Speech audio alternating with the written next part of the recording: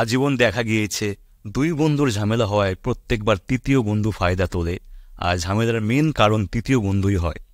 তো, আমার এসব দেখার কি কারণ? আমি এসব কথা কেন বলছি? ইয়েস গাইস আমি একজন মিউজিক ভিডিও রিয়াক্টার আমি মিউজিক ভিডিও দেখে আমার রঙিন মানুষ গান শুনতে পছন্দ লাগে, বিভিন্ন রকমের ফানি জিনিস দেখতে পছন্দ লাগে বাট আমি হুট করে এইসব জিনিসে কেন ঢুকছি? কারণ কিছুই না, মানুষের, যাদের জন্য আমি আজ বড় হয়েছি, আজ এই জায়গায় হয়েছি খুব বড় হয়নি, ঠিক আছে বাট যারা মানে আমাকে, তাদের ডিমান্ড তাদের হয়তো সত্যিগুলো চাপা পড়ে রয়েছে, তাদেরকে দাবিয়ে দেখা হয়েছে, তাদেরকে অন্য চোখে দেখা হচ্ছে, তো তাদের জন্য হয়তো আজকে জিনিসটা আমি ক্লিয়ার করব যে আলটিমেট ঘটনাটা কি? এতদিন ধরে যে জিনিসটা হচ্ছে, কাকে আঙুল দেবো, কাকে দোষ দেবো, কে আমার আপন, কে আমার পর কিছুই বোঝা যাচ্ছে না গাইস কিন্তু এই ভিডিওটার মাধ্যমে নাকি সব কিছু ক্লিয়ার হবে, আর এটা দ্য দেশভক্ত চ্যানেল থেকে আমরা দেখব আসল বিষয়টা কি আর পার্ট থ্রি আমি দেখছি আরও দুটো পার্ট রিলিজ হয়েছে। আমি সেগুলো চেক আউট করিনি, কারণ এটা যেহেতু রিসেন্ট ভিডিও যে আটচল্লিশ ঘন্টায় যাকে ডিক্টেটার্স বলা হচ্ছে, শেখ হাসিনাকে, তিনি কি করেছেন, বাংলাদেশের পর মানে পরের পদক্ষেপটা কি হবে, সেটা আজকে দেখব। তো দেখি আসল ঘটনাটা কি গাইস লেস গো চলো। জলে সাই ভাষায়, সাগরের মানে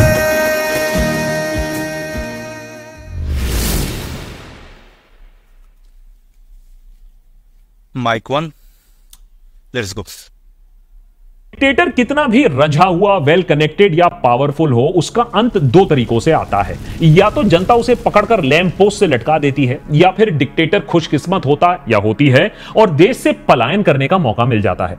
शेख हसीना दूसरी श्रेणी में आती हैं। फिफ्थ अगस्त 2024 बांग्लादेश के इतिहास में एक ऐतिहासिक दिन रहेगा। शेख हसीना 15 साल बाद राज करने के बाद बांग्लादेश से भागती हैं, पलायन करती हैं। वाया इंडिया लंदन की तरफ़ जा रही हैं, वहाँ रेफ्यूज मांग रही हैं।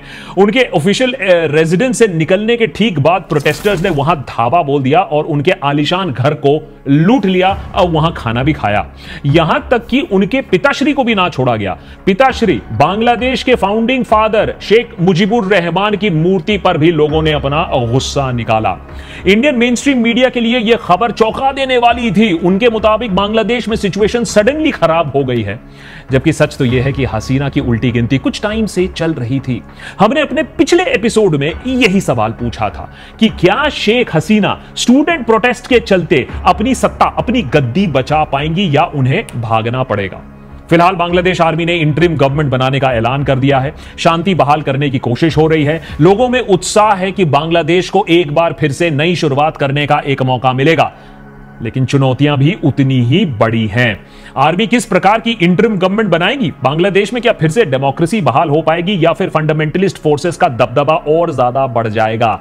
यह सब जानते हैं आज के बांग्लादेश पार्ट थ्री एपिसोड में। लेकिन सबसे पहले यह समझने की कोशिश करते हैं कि स्टूडेंट प्रोटेस्ट के चलते एक रंझे हुए डिक्टेटर को क्यों कुर्सी छोड़नी पड़ी और क्यों बांग्लादेश स्टूडेंट्स ने फिर से साबित कर दिया कि तानाशाह चाहे दुनिया भर में कहीं भी हो स्टूडेंट से वो इतना क्यों डरते हैं? क्योंकि स्टूडेंट्स एक बार अगर कुछ ठान लेते हैं तो उनके सामने चलती किसी की नहीं है। शेख हसीना की उल्टी गिनती शुरू होती है स्टूडेंट प्रोटेस्ट से, जो शुरुआत हुई थी जिसकी, एक स्टूपिड कोटा सिस्टम के खिलाफ।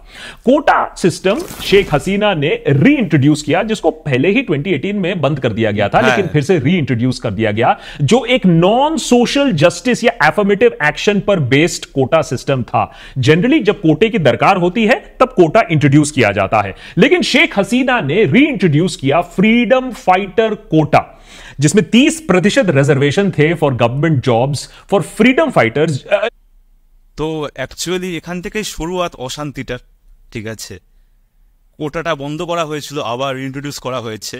তিরিশ পার্সেন্ট রিজার্ভেশন থাকবে যারা মুক্তিযোদ্ধার, যাদের ছিলেন নাতি নাতিরা বা অবশ্যই যারা ছিলেন, ঠিক আছে। তাদের জন্য তিরিশ পার্সেন্ট রিজার্ভেশন গভর্নমেন্ট জবের জন্য কত? जिनकी टोटल गिनती Government 0.13 परसेंट है जिनके डिसेंडेंट्स की गिनती की जाती है। तो ये कोटा था क्या? ये कोटा था शेख हसीना अपने फेवरेट्स को अपने लोगों को सिविल सर्विस ब्यूरोक्रेसी और गवर्नमेंट जॉब्स में घुसाने के लिए। स्टूडेंट्स का डिमांड था कि भाई कोटा रिफॉर्म करो ये 30 परसेंट ये जो फर्जी का कोटा है इसको हटाओ। और डिक्टेटर हसीना तब कहती है कि इसको क्या ज़रूरत है? भाई मैटर तो कोर्ट में है कोर्ट फैसला दे रहा है तो आप लोग क्यों प्रोटेस्ट कर रहे हो? प्रोटेस्ट তো ব্যাপারটা হচ্ছে কোর্টের কোর্ট কী করে ফেসলা দেবে? যদি তুমি যেখানে মেন ঠিক আছে, তোমার কথাই যেখানে সব কিছু হয়, তুমি কোর্টের উপরে সব কিছু ঠেলে দিচ্ছ, আর যেদিকে কোর্টকে তুমি আটকে রেখেছো इसलिए क्योंकि शेख हसीना एक वेल नोन डिक्टेटर थी बांग्लादेश के स्टूडेंट पॉपुलेशन के लिए, खासकर की जो जानते हैं कि डिक्टेटर्स कैसे ऑपरेट करते हैं कोर्ट हो पुलिस हो ब्यूरोक्रेसी हो, सब कुछ शेख हसीना के कंट्रोल में था।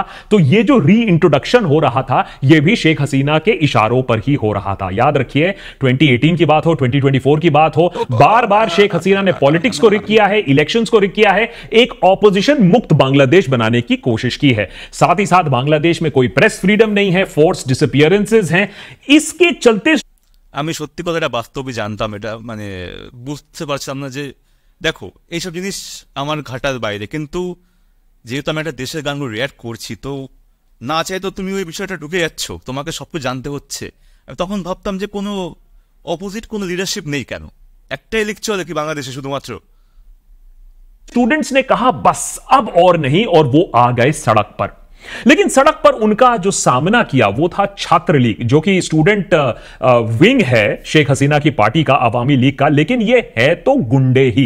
इन गुंडों ने फिर स्टूडेंट्स को चुन चुनकर मारना शुरू किया और पुलिस ने भी अपनी क्रैकडाउन शुरू की। इंटरनेट को बंद करवा दिया गया और बोला जाता है ऑफिशियली 200 लेकिन अनऑफिशियली एक हज़ार लोगों को मार डाला गया, हज़ारों फिर इंजर्ड हैं। लेकिन स्टूडेंट्स तब भी डटे रहे और लड़ाई करते रहे शेख हसीना के इस कोटा रिफॉर्म के खिलाफ। और जो मार्टर्स हैं, वो कहा कि भैया हम इनकी जो इनकी जो मृत्यु हुई है, इसको हम वेस्ट नहीं जाने देंगे। फाइनली सुप्रीम कोर्ट ने ये 30 परसेंट फ्रीडम कोटा हटा दिया। अब लॉजिक तो यही है कि बात यहाँ खत्म हो जानी चाहिए थी। चाहिए, इस पूरे एपिसोड को हमने कवर किया था अपने एक प्रीवियस एपिसोड में किस वजह से ये पूरा इंफॉर्मेशन जो ब्लैकआउट हुआ इस तरीके से क्रैकडाउन हुआ और सुप्रीम कोर्ट ने जो बैकडाउन किया इसके पीछे जो पूरी स्टोरी थी ये हमने कवर किया। लेकिन प्रॉब्लम यह है कि शेख हसीना की प्रॉब्लम्स तब वहाँ से शुरू होती हैं समाप्त नहीं होती हैं। शेख हसीना ने कहा कि हम ये कोटा विड्रॉ कर लेते हैं और स्टूडेंट्स अपने घर चले जाएँगे। लेकिन ये जो कोटा जब विड्रॉ हुआ स्टूडेंट्स का जो सब्र का बाँध था, वो टूट गया था, क्योंकि जिस तरीके से शेख हसीना ने उन पर बर्बरता की, जिस तरीके से बोला जा रहा है, एक हज़ार तक को स्टूडेंट्स को मारा। स्टूडेंट्स ने कहा कि अब हम आपको जाने नहीं देंगे। इतना खून खराबा हुआ है, शेख हसीना को माफ़ी मांगनी पड़ेगी, शेख हसीना को रिजाइन देना पड़ेगा। पुलिस और आर्मी जो इन्वॉल्व थे, उनको भी जवाब देना पड़ेगा। नतीजे में क्या हुआ? जो जो काम डिक्टेटर करता है, वो काम शेख हसीना ने और किया। इस बार डबल क्रैकडाउन करना शुरू किया। पुलिस ने अरेस्ट करना टॉर्चर करना स्टूडेंट लीडर को टॉर्चर करके ये स्टेटमेंट दिलवाया कि नहीं, हम अपना प्रोटेस्ट वापस ले रहे हैं। हेलीकॉप्टर से शूटिंग हुई स्टूडेंट्स के ऊपर, बर्बरता चरम सीमा तक पहुँच गई। पैलेट गन्स का इस्तेमाल हुआ। जिसके बाद स्टूडेंट्स ने कहा कि भाई, अब तो ढाका के तरफ़ कूच करना पड़ेगा, ये हम नहीं जाने देंगे। अब फिर इन्होंने नाइन पॉइंट एक डिमांड पहले रखा था, जिसके चलते और भी ज़्यादा क्रैकडाउन होता है तो वो नाइन पॉइंट डिमांड, फिर वन पॉइंट डिमांड बन जाता है कि शेख हसीना को रिजाइन देना पड़ेगा। तो कहीं ना कहीं शेख हसीना ही इस क्राइसिस की रिस्पॉन्सिबल है। अगर डेमोक्रेटिकली सॉल्व करने की कोशिश होती तो ऐसा सिचुएशन शायद डेवलप ना हो पाता और वो शायद सत्ता में कुछ और साल तक रह जाती। लेकिन कर्फ्यू लेकिन रेड लेकिन फोर्स डिसअपियरेंस के चलते स्टूडेंट्स ने कहा, बस और नहीं। इसको भी हमने काफ़ी डिटेल में अपने पार्ट टू में कवर किया था। अब आते हैं पिछले 24-48 आवर्स में क्या हुआ।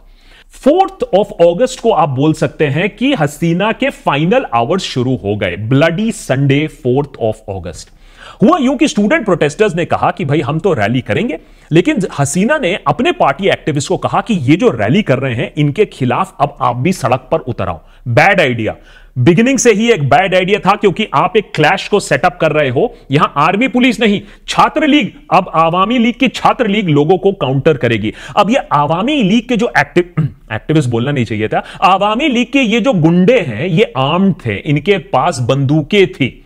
और हसीना तो डिक्टेटर है। हसीना ने सोचा कि ये बंदूक देखकर फिर से जो स्टूडेंट्स मारे जाएँगे, उसके बाद ये प्रोटेस्ट अपने आप नीचे हो जाएगी। कोटा तो मैंने पहले से ही विड्रॉ कर दिया। लेकिन कहीं ना कहीं शेख हसीना का ये कैलकुलेशन बैकफायर करता है।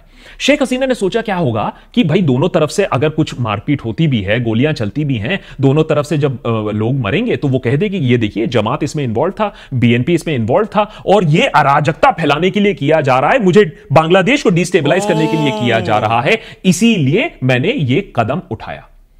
अब हुआ यूँ कि 100 लोग करीबन मारे गए इस एक दिन में। तो आप सोचिए, पहले ही 200 300 ऑफिशियल था अनऑफिशियली 1000 था। और यहाँ तो आंकड़े हैं 100 लोग मारे जाते हैं एक संडे को। मोस्टली प्रोटेस्टर्स जो मारे जाते हैं, कुछ पुलिसमैन आवामी लीग मेंबर्स भी मारे जाते हैं। आवामी लीग के गुंडा जो हैं, वो पॉइंट ब्लैंक रेंज पर स्टूडेंट्स को मार रहे हैं। ये सारी चीज़ें रिकॉर्ड हो रही हैं कैमरा पे मोबाइल फ़ोन पर। इसके रिस्पॉन्स में स्टूडेंट्स ने कहा कि अब तो बात आगे बहुत आ चुकी है। अब सब पहुंचो ढाका, पूरे देश से पहुंचो ढाका और शेख हसीना के रेजिडेंस को हम घेराव करेंगे अकाउंटेबिलिटी मांगेंगे। अब तब तो भाई पुलिस और पैरामिलिट्री फोर्सेस ने उसको कवर कर लिया हाउस को बचाने की कोशिश की। लेकिन जो स्टूडेंट कन्वीनर्स है, उन्होंने बात साफ़ कर दी कि हम तो पीसफुली प्रोटेस्ट कर रहे थे, आवामी लीग, छात्र लीग, इनके गुंडों ने हमें मारा, हमारे सौ में सौ के आसपास लोगों को मारा। 99 जो बांग्लादेश के लोग हैं, अब इस रिजीम के खिलाफ हैं। हम तो एक डेमोक्रेटिक स्टेट चाहते हैं अपने फ्यूचर जनरेशन के लिए। अब जितना भी वो हमारे ऊपर गोली चलाएँगे, हम और भी ज़्यादा प्रोटेस्ट करेंगे। वो एक कहावत है ना कि इतना भी मत डराओ कि डर का डर ही खत्म हो जाए। उसी तरीके से स्टूडेंट्स में डर ही बाहर निकल गया। मारना है तो मार डालो, लेकिन हम पीछे नहीं हटेंगे। अब आता है एक ट्विस्ट जब स्टूडेंट्स प्रोटेस्ट कर रहे हैं स्टूडेंट्स मार्च कर रहे हैं, इसमें आर्मी का एक अहम एक रिस्पॉन्सिबिलिटी और रोल आता है।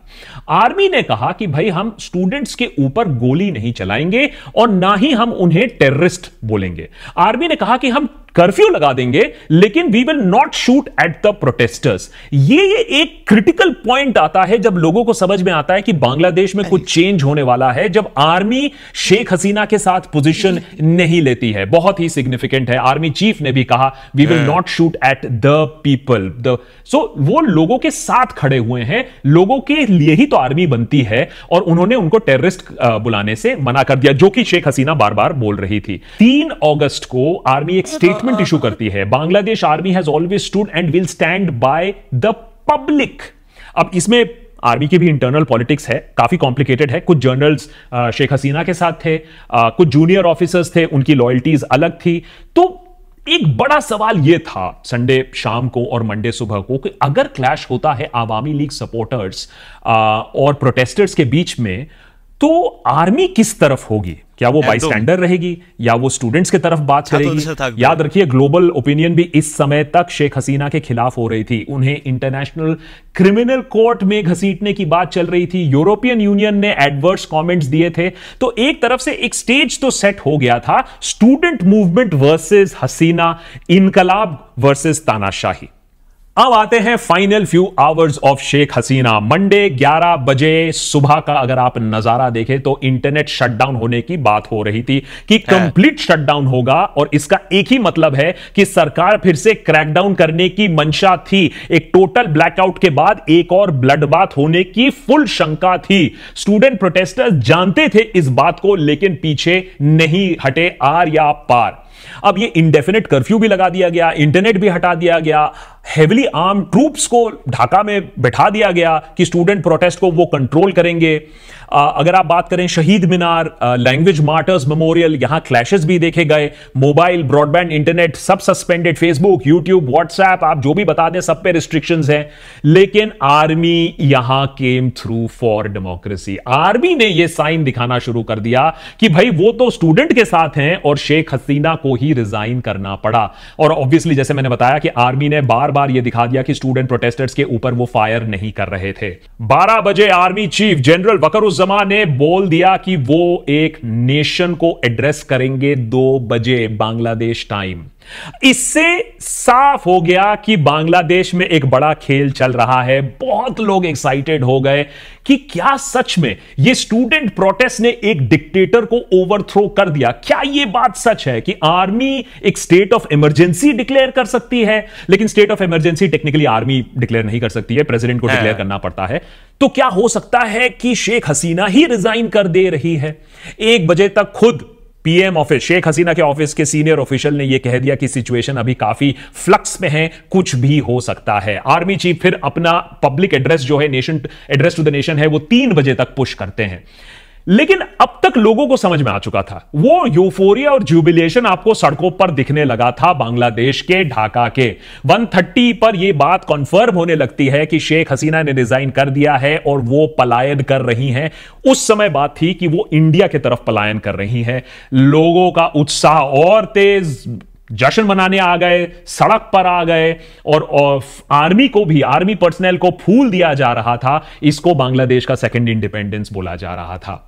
दो बजे का अपडेट यह आया कि गौरव भवन जो शेख हसीना का ऑफिशियल रेजिडेंस है वहाँ से वो निकल चुकी हैं अपनी बहन के साथ। अब वो एक स्पीच रिकॉर्ड करना चाहती थी लेकिन वो भी उन्हें नहीं करने दिया गया। सिर्फ़ एक रेजि, एक रेजिग्नेशन और उसके बाद यहाँ से पलायन। तो लिटरली आप समझ लीजिए शेख हसीना को एग्जाइल में डाला गया। कितने प्रेशर के अंदर डाला गया कितने थ्रेट के अंदर डाला गया आर्मी का इसमें क्या रोल था कितना था यह चीज़ अभी बाहर नहीं आई है लेकिन रेजिग्नेशन कंफर्म्ड होता है उनका फ्लीइंग कंफर्म्ड होता होता है। पहले बात थी कि वो इंडिया की तरफ़ आ रही है, लेकिन अब लग रहा है वाया इंडिया वो लंडन के तरफ़ जा रही हैं, जहाँ वो रेफ्यूज मांगेंगी। गौरव भवन में स्टूडेंट सेंटर करते हैं, वहाँ की आलीशान चीज़ें देखते हैं, वहाँ लंच खाते हैं, और फिर प्राइम मिनिस्टर के ऑफिशियल रेजिडेंट्स को लूटा भी जाता है, वहाँ से चीज़ें बाहर भी स्टूडेंट्स ले जाते हैं। तीन बजे का अपडेट यह होता है कि आर्मी चीफ आते हैं नेशनल टेलीविज़न पर आते हैं और एक बेटर फ्यूचर की एक गुहार लगाते हैं। कहते हैं कि अब फाइटिंग और किलिंग से कुछ नहीं होने वाला है। ये जो डिस्ट्रक्शन है, ये जो प्रोटेस्ट है, अब इसे रोकने की दरकार है। जो भी गिल्टी है, ये जिस तरीके से स्टूडेंट्स को बर्बरता से मारा गया था, जो भी गिल्टी है, उन्हें पनिश किया जाएगा। आर्मी चीफ कहते हैं कि वो सारे लीडर से बात कर चुके हैं पॉलिटिकल पार्टी के लीडर से बात कर चुके हैं। काफ़ी पॉजिटिव उनकी बातचीत हुई है और इसके बाद एक इंट्रिम गवर्नमेंट बनाया जा रहा है। तो इस इंट्रिम गवर्नमेंट के बनने के बाद आशा यह हो रही है कि बांग्लादेश में कम से कम जिस तरीके के प्रोटेस्ट देखे गए, जिस तरीके की खूनखार बने ब्लड शेड जो देखा गया, कम से कम वो अब रुक जाए। फ़िलहाल बांग्लादेश में एक सेलिब्रेशन का तो माहौल है जुबिलेशन का माहौल है। हर दूसरे शहर से यह खबर आ रही है कि बांग्लादेश जीता डेमोक्रेसी जीता और एक डिक्टेटर हारी। याद रखिए, शेख हसीना ने डेमोक्रेसी को भी ताक पर रख दिया था। पिछला इलेक्शन एक वन पार्टी सिस्टम को ही बांग्लादेश में इन्फोर्स लाया था, जब उनकी आवामी लीग ने ही मेन पार्टी थी जिसने इलेक्शन लड़ा। लेकिन जहाँ एक तरफ़ सेलिब्रेशन है, दूसरी तरफ़ वहाँ घोर चिंता का भी विषय है। अभी अराजकता बांग्लादेश में देखी जा रही है। गौरव भवन को लूटा गया यह तो एक बात है। वहाँ खबर यह आ रही है कि आवामी लीग के मिनिस्टर सब कुछ आग लगा रहे हैं, सारे डॉक्यूमेंट्स को आग लगा रहे हैं, जिससे उनके किए धरे का पता ना चल पाए लोगों को। उधर लोगों में भी इतना ज़्यादा गुस्सा है, अभी लॉ एंड ऑर्डर नहीं है तो वो भी एक वायलेंट मॉब बन रहे हैं। शेख हसीना ने रिजाइन कर दिया है, लेकिन इसके बाद भी वो एग्रेसिवली अटैक कर रहे हैं। कुछ हाउसेस पर अटैक की खबर है, कुछ माइनॉरिटी ग्रुप्स पर अटैक की खबर है। स्टैचूज पब्लिक इंस्टीट्यूशन उस पर अटैक की खबर है वैंडलिज्म की खबर जगह जगह से आ रही है। स्टूडेंट प्रोटेस्टर्स ये कह रहे हैं कि वो ये सारा काम छात्र लीग के लोग कर रहे हैं और वो इंश्योर करेंगे कि माइनॉरिटीज के खिलाफ कोई अटैक ना हो। शेख हसीना के जो सुपुत्र हैं, वो रिलीजन को इस्तेमाल कर रहने की कोशिश कर रहे हैं, लोगों को पोलराइज करने की कोशिश कर रहे हैं, लेकिन ऑल सेड एंड डन इस वैंडलिज्म को रुकने की ज़रूरत है, जिससे कम से कम जो इंटरिम गवर्नमेंट है, वो रीग्रुप करे फोकस करे। सबसे पहला काम जो इंटरिम गवर्नमेंट का है, वो ये है कि आवामी लीग ने जिन स्टूडेंट्स को अरेस्ट किया, जिन लोगों को गायब कर दिया, जिन लोगों को सीक्रेटली डिटेन कर लिया, उनको कम से कम इमीडिएटली वापस दिया जाए। जो ज़िंदा है, बहुत सारे लोग मारे गए हैं, इस पर कोई डाउट नहीं है, लेकिन जो ज़िंदा है, उन्हें इमीडिएटली रिलीज़ किया जाए। दूसरी खबर यह है कि आवामी लीग पॉलिटिशियन के घरों पर भी अटैक हो रहा है और उन घरों को भी जलाया जा रहा है। कोई भी रेट्रीब्यूशन चाहे वो कोई कम्युनिटी के खिलाफ हो या कोई पॉलिटिशियन के खिलाफ हो, उसे अभी रुकने की ज़रूरत है। अगर इस इंटरिम गवर्नमेंट को कोई भी क्रेडिबिलिटी चाहिए। तीसरा फैक्टर और खास करके इंडिया के लिए बहुत इंपॉर्टेंट फैक्टर है।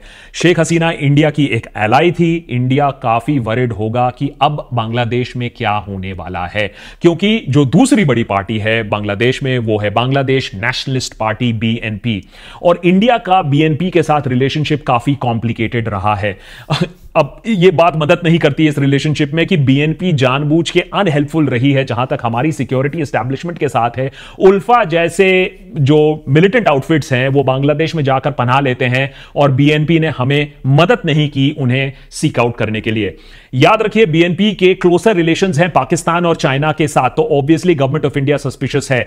इस्लामिस्ट ग्रुप्स के साथ भी पार्टनर किया है बीएनपी के, और चाइना की इकोनॉमिक प्रोजेक्ट्स शायद अब प्राइमेसी ले इंडिया के प्रोजेक्ट्स शायद वहाँ रुक जाएँ। तो एक डिस्ट्रस्ट का माहौल है बीएनपी के साथ, और इसीलिए गवर्नमेंट ऑफ़ इंडिया भी अभी वरिड है कि किस तरीके का पॉलिटिकल फॉर्मेशन अब आगे आएगा।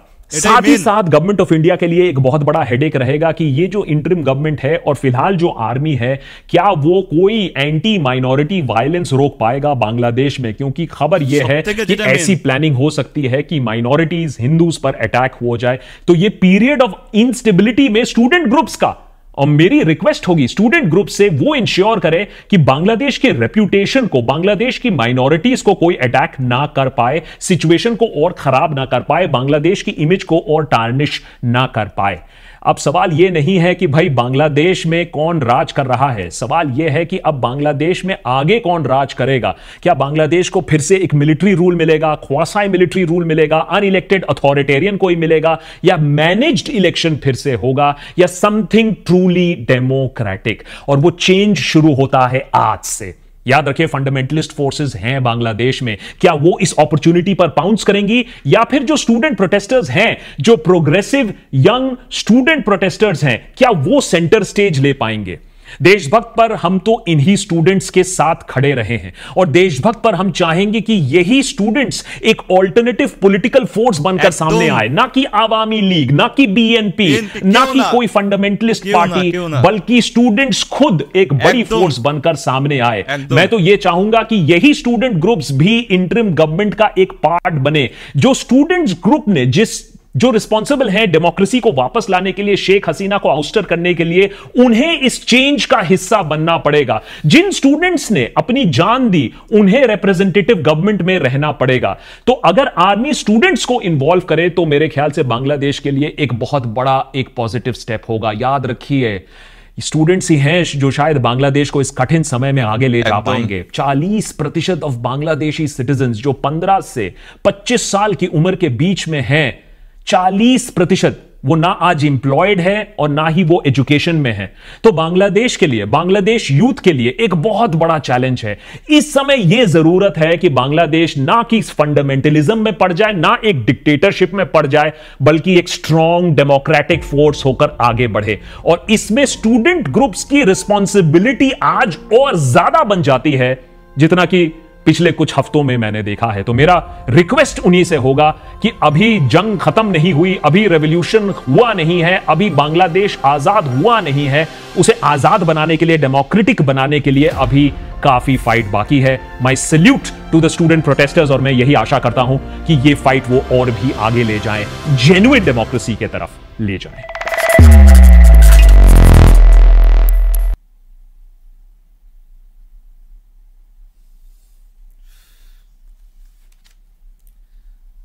একটা কথাই বলেছি প্রত্যেকবার সন্ত্রাসী যারা সন্ত্রাসী হয়, তারা কখনো ধর্ম দেখে না। ঠিক আছে, তাদের কাছে ওটাই অস্ত হয়, ধর্ম নিয়ে খেলার। আশা রয়েছে, জানি না কি হবে, কারণ আমরা কিছুই না। বড় বড় উঁচু উঁচু মাত্রা, তারা যা করবে, লোকে তাই করে। ঠিক আছে, আমরা জাস্ট একটা অডিয়েন্স হয়ে দাঁড়ায় সব কিছু সব ক্ষেত্রে।